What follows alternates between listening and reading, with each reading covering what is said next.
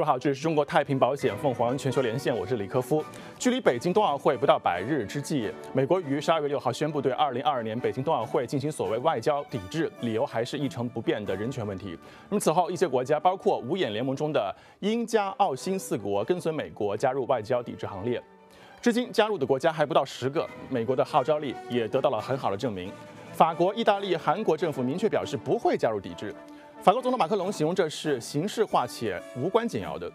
讽刺的是，不论抵制与否，以上所有国家的运动员都将在明年二月四号相聚北京，参加在第一次中国举办的冬奥会。那么，这样的外交抵制到底意义何在？中国外交部发言人表示，某些国家政客在没有受到邀请的情况下炒作所谓外交抵制，纯属自作多情、哗众取宠。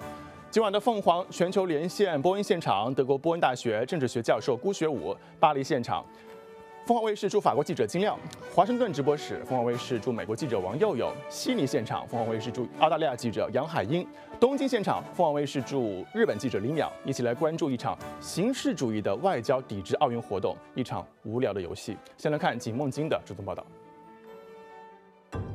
离北京冬奥会开幕还不到两个月的时间，让人意外的是，为赛事热场的不是啦啦队，而是一群跳梁政治家。美国白宫新闻秘书普萨基在十二月六号打响头炮，声称拜登当局将不派任何外交或官方代表出席二零二二年北京冬奥会和残奥会。鉴于中国所谓在新疆践踏人权的行为，盟主一声令下，麾下小弟纷纷附和。新西兰在美国宣布隔天表示不会派官员出席冬奥，但强调不出席主要是和新冠疫情有关。加拿大、英国、澳大利亚紧接其后，至此无五眼联盟成员全部到齐。美国《纽约时报》的评论更甚，声称奥运赞助商正把所谓利益凌驾于道德之上，并直接点名国际企业做出声讨，可谓看热闹不嫌事儿大。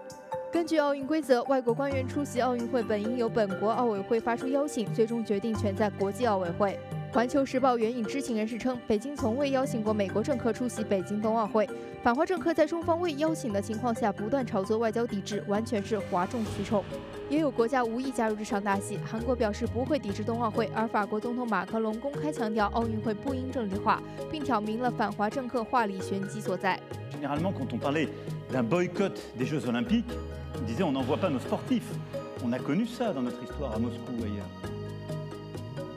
Personne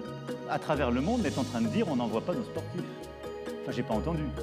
有时评指出，抵制奥运也有真假之分，运动员不来参赛为真，而官员不来都是假把式。二零二四年法国巴黎奥组委主席艾斯坦盖也坦言，历史证明抵制行为从来没有达到政治目的，没有任何意义。同西方各国个别炒作抵制冬奥会形成鲜明对比的是，这些国家奥委会和运动员对冬奥会的积极态度。据冬奥会数据，截至十一月十七号，来自欧美等国的奥委会已经提交了一万四千多条注册申请，仅美国奥委会就提出了一千五百多条。在十一号举行的第十届奥林匹克峰会公告指出，北京冬奥会的举办将开启全球冬季运动的新时代。中国提出要带动三亿人参与冰雪运动，将使得全球冬季运动的开展迈向新高度。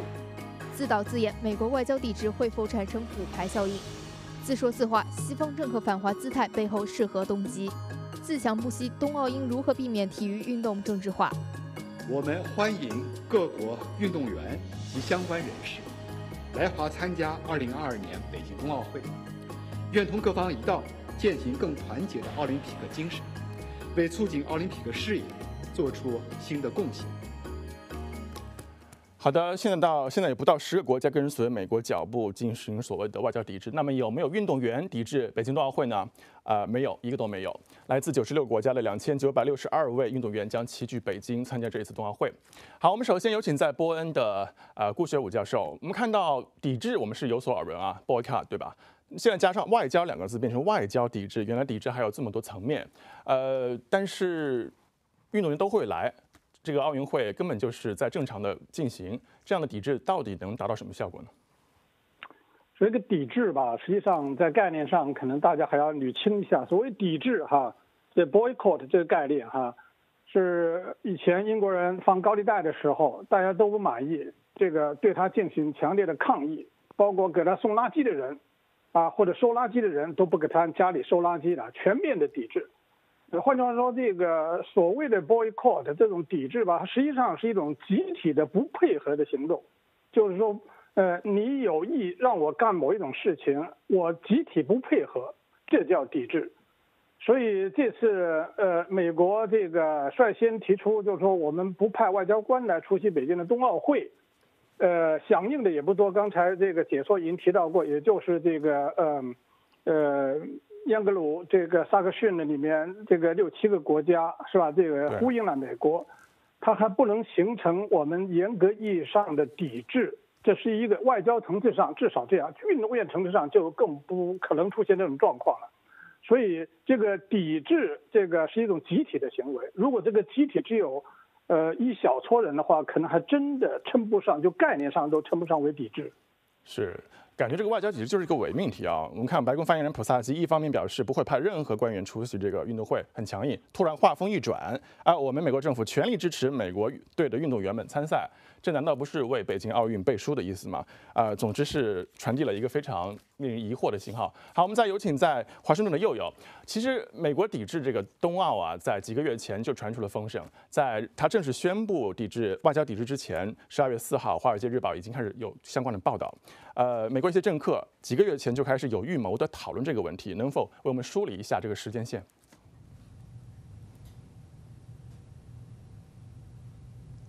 好，科夫，就像你刚才所说的，白宫在最终宣布的时候呢，一方面宣布了这个所谓的外交抵制，然后又一方面强调美国政府全力支持运动员参加冬奥会。那在这个之前，白宫宣布之前呢，就已经有媒体呃放出消息，而且呢，其实是美国两党呢，包括国会的很多议员呢，都向这个白宫进行施压。那很多人呢，很多观察人士都评论说，白宫最终采取的这个宣布呢，其实是采取了一个比较温和。中立的方式，相较于之前一些政客想要白宫采取的方式，因为他宣布了这个所谓的外交抵制，但是呢，他在这个记者会上宣布这个外交抵制的时候，又表示说他们不想用这个外交抵制，呃，diplomatic boycott 这个词。他说这个词呢，会让人联想到这个一九八零年代美国当时对这个苏联的。运动奥运会的抵制，那当时呢，对苏联的奥运会的抵制不仅是呃没有送官员，而且呢也是不让运动员参赛。所以说，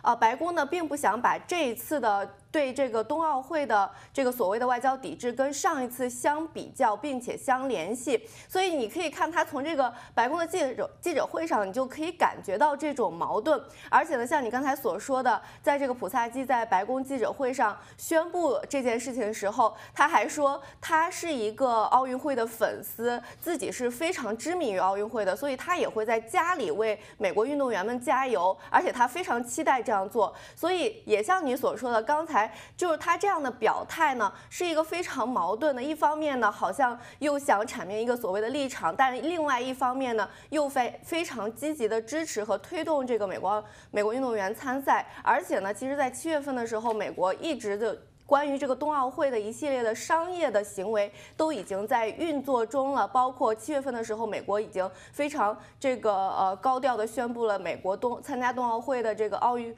呃奥运团队所要穿的这些服装。所以说呢，总体来说，美国这边分析人士认为，拜登政府呢是想要寻求一种在这个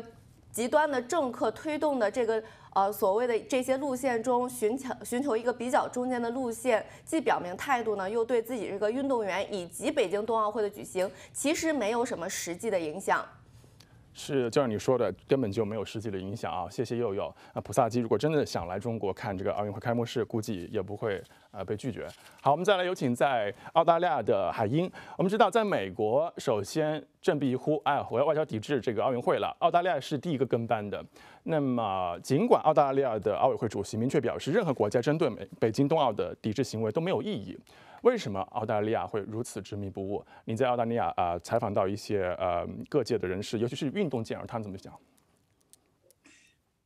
实际上，澳大利亚加入美国的这个紧随美国已经已经看得见 Arkus，对吧？英国、美国还有澳大利亚属于纯白核心利益 （Anglo-Saxons），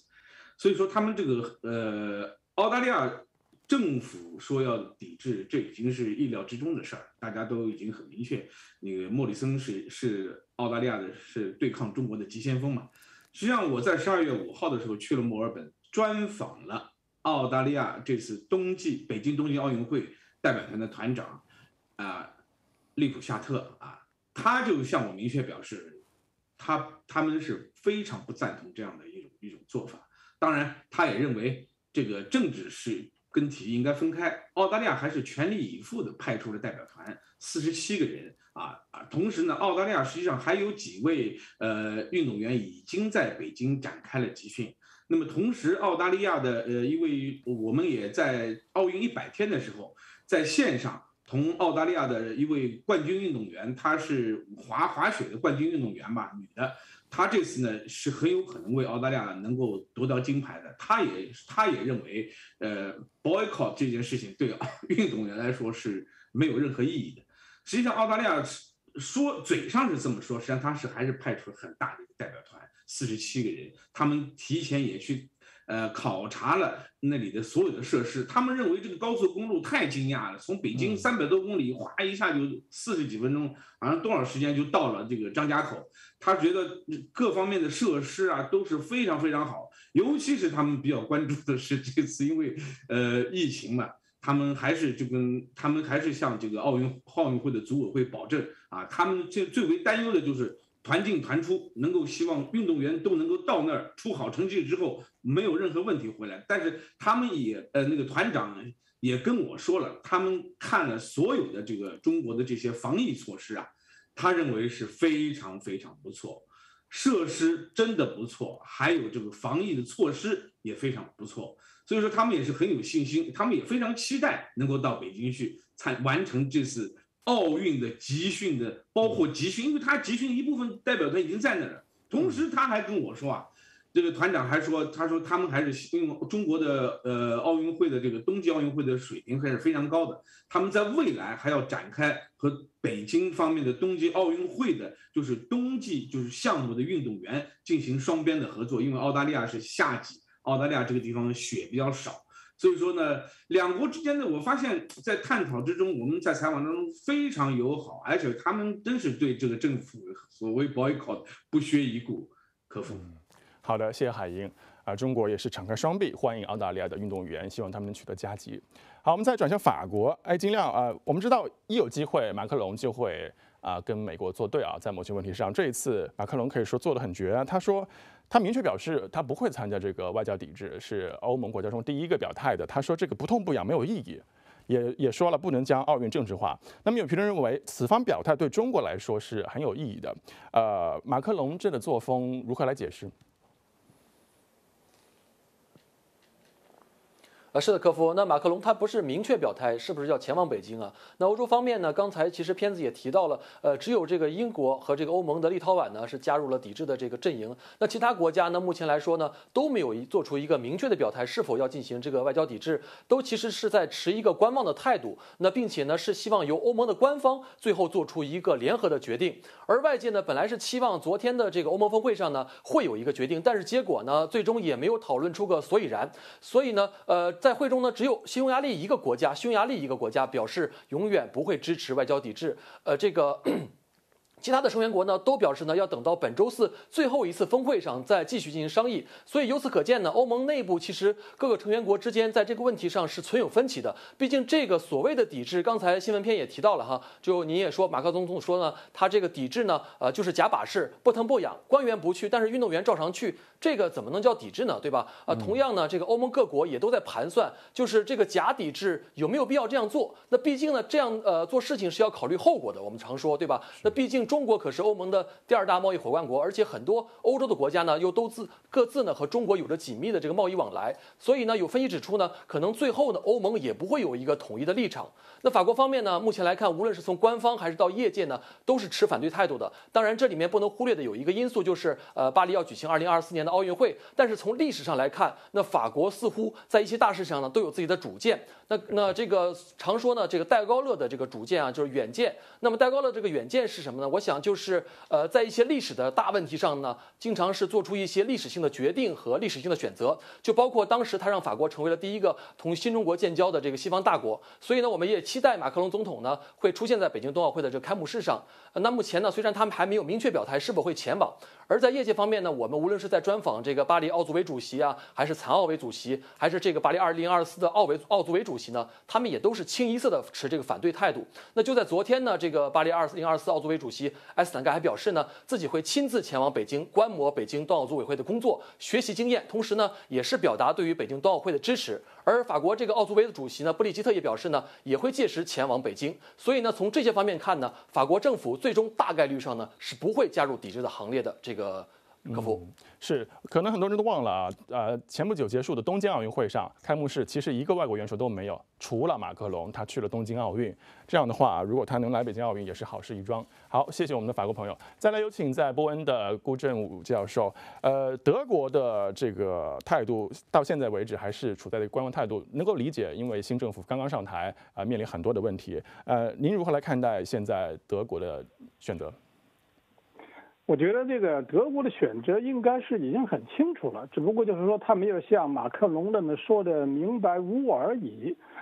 从目前我的观察来看，欧洲的除了立陶宛之外以外，可能没有什么其他的国家说明确的要去抵制这个中国的冬季奥运会。其原因其实很清楚的，第一点就是，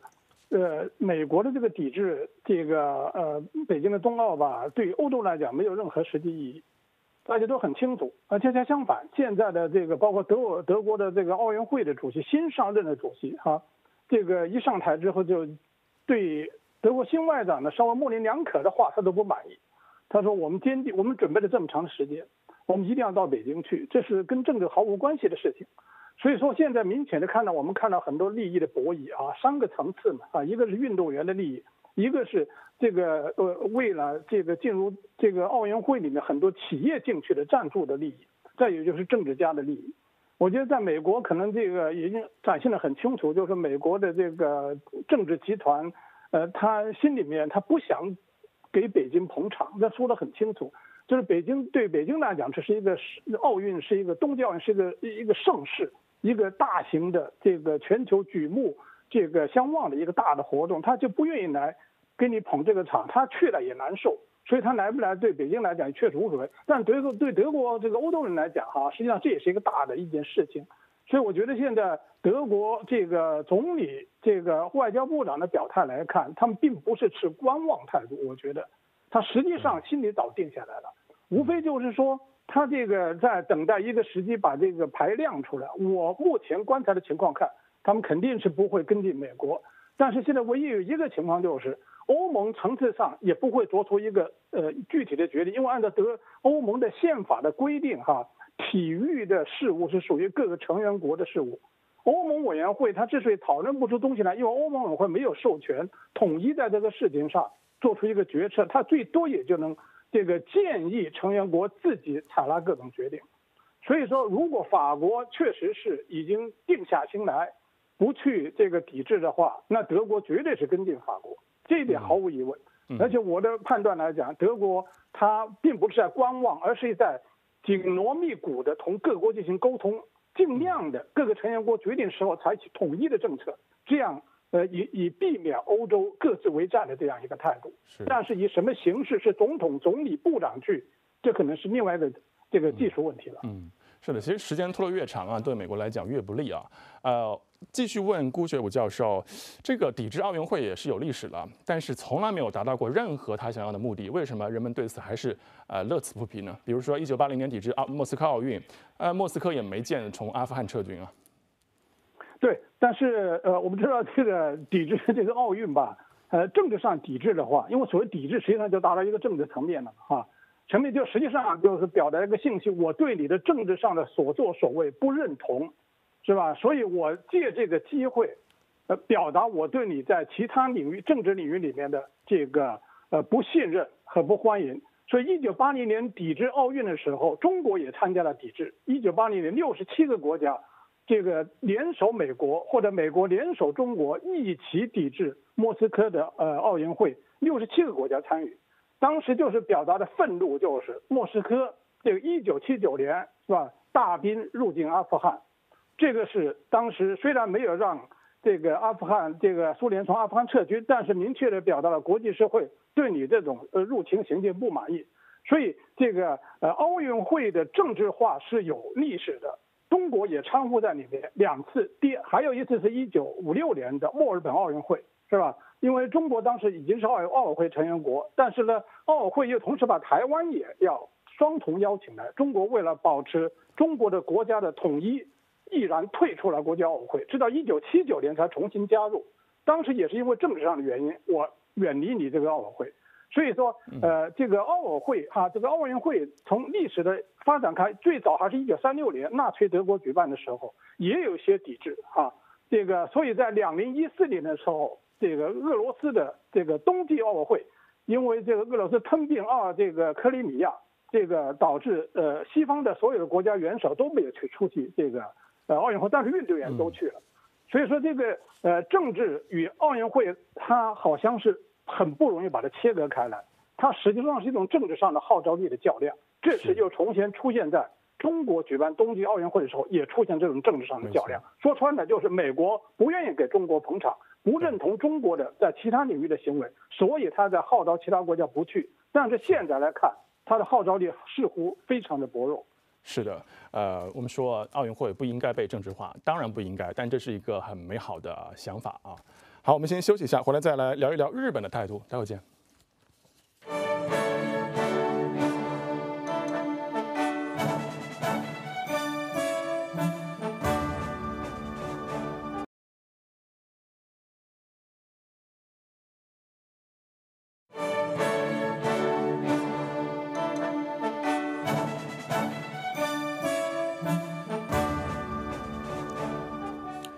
国为什么总是无事生非呢？振臂一呼，抵制北京奥运啊，搞得全世界很多国家这个在家做作业啊，想想到底应该怎么交代。比如说日本，呃，中国曾经温馨提示日本啊，在东京奥运的举办期间，中国是全力支持的，希望能够呃恪守对彼此的承诺。那么日本到现在为止没有做出是否参加外交抵制中国的行列的一个决定。啊，相关消息，我们连线正在东京的驻日本记者李淼。那么李淼，日本政府呃。对于岸田内阁来讲，这道必答题他会做出什么样的回答？好的，客服。那直到现在呢，日本对北京冬奥会其实还没有明确的一个表态。那最大的焦点其实就是日本是不是会派阁僚出席北京冬奥会。那么日本现在正在开国会，几乎每天啊，我们看到岸田文雄首相呢都在国会被质询，说日本政府到底是不是应该派阁僚参加北京冬奥会。那么岸田呢，显然现在是左右为难了。他面临两种压力，一方面呢是来自自民党内的保守派，像高市早苗、政调会长为中心的这些保守派。那么这些保守派的自民党国会议员呢，他们就认为说，日本应该跟美国保持一致。那既然盟国美国已经做了决定，那么日本是不是就应该尽快去表态？可是呢，另一方面，我们也看到岸田面临的压力呢。我们都知道，他出身红池会，上台还只有两个多月。但是呢，岸田已经多次表示说，中国对于日本来说是重要的邻国，所以呢，他很希望和中国发展稳定性的、建设性的两国关系。那明年呢？我们都知道是中日两国非常关键的一年，是邦交正常化五十周年。中方呢也已经明确说了，中国在之前支持了东京奥运，那接下来呢就是日本体现应有的信义的时候了。所以呢，我们看到岸田显然不愿意和中国产生直接的对立，同时呢，也想促进两国的经济，还有两国的人员往来、国民交流。所以呢，现在还没有能够最终拿出决定来。不过呢，各方就预测说，日本最晚应该在十二月底，就是在今年年底之前呢，会最终决定到底要不要派官员出席北京冬奥会。另外还有一种看法，就是说日本有可能会派体育厅长官前往，因为体育厅长官呢并不是国会议员，也不是政客，但是呢他也算是高官，所以呢自民党内还是有声音表示反对。当然了，也可能会派东京奥组委的主席桥本圣子或者日本奥组委的会长山下泰裕出席。那日本国内有声音说啊，就是这种体育盛事呢，应该跟政治分开来看，不应该放在一起，也不应该一味去追随美国。所以相信呢，安田政权会谨慎的考量各种各样的风险，客服。是的，是不是为了应该跟随美国的脚步而对中国背信弃义，忘掉中国在东京奥运对他的支持？这是岸田现在需要思考的一个问题。好，我们再来有请在澳大利亚的海英。我们知道韩国是明确表示不会加入抵制这个外交抵制奥运的行列。啊，文在寅正在澳大利亚访问，在此期间他做出了这样的决定。呃，可以说他的平衡外交是呃炉火纯青。您如何来看文在寅的决定？我们在记者会现场也可以看见，文在寅是跟那个澳大利亚总理莫里森他们的讲话是保持了一定的距离。当时这个记者会一共有四个记者提问，三个 问题是跟中国有关系，当然抵制奥运会也是个非常非也是一个主要的问题。呃，文在寅非常明确的表示，澳大利亚有媒体表示，文在寅实际上是给莫里森上了一课，怎么样才能真正处理好和中美啊，就中呃呃和美国美韩关系和韩中关系。实际上，这这一点呢，澳大利亚的媒体评论员们，呃，这这两天这个呃发了几篇报道，还有电视评论员也表示了这样一种意思，就是说莫里森真的是应该好好的向啊文在寅学习一下。实际上，呃，韩国在这方面在澳大利亚这几天的这个访问是引起了很大的反响，就是可以看出韩国这样一个国家在中美之间。啊，他们他们他的这个游刃程度还是非常大的，不像澳大利亚顶着死牛往前走，最后贸易也受到很大的损失。那么呃，总体来，那么韩国总统今天是结束访问，明天上午就要回韩国，所以说给留澳大利亚留下的是给莫里森上了一个课，有媒体是这样评论的。好。谢谢海英。再来有请在华盛顿的佑佑啊，我们知道你刚刚说啊，白宫发言人普萨基很喜欢奥运，但是美国政府是多次呃有辱奥运精神啊，这个 boycott 这个抵制奥运也是他们发明的，给我们介绍一下它的历史。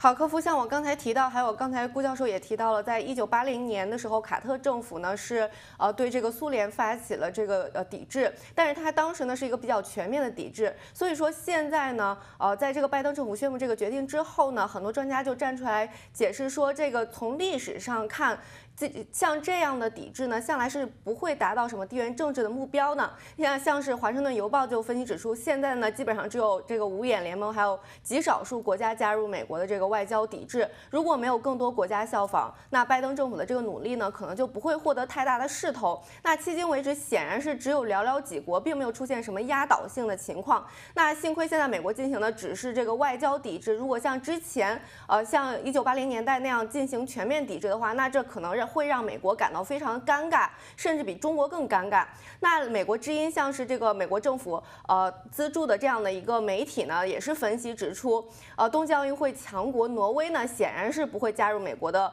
呃，外交抵制，那北约盟国呢，像法国、意大利也不会，波兰和匈牙利呢，也是在这个他们自己本身呢，在这个人权方面也有很多担忧，也是跟美国在这方面也有一些分歧，所以说呢，非常渴望的，也是非常渴望跟中国作为这个经济合作伙伴继续下去，可能也将无视美国发起的这个抵制。所以说，如果大部分国家根本不会跟进，或者需要很长时间才跟进，那美国的这个外交抵制的影响会非常小。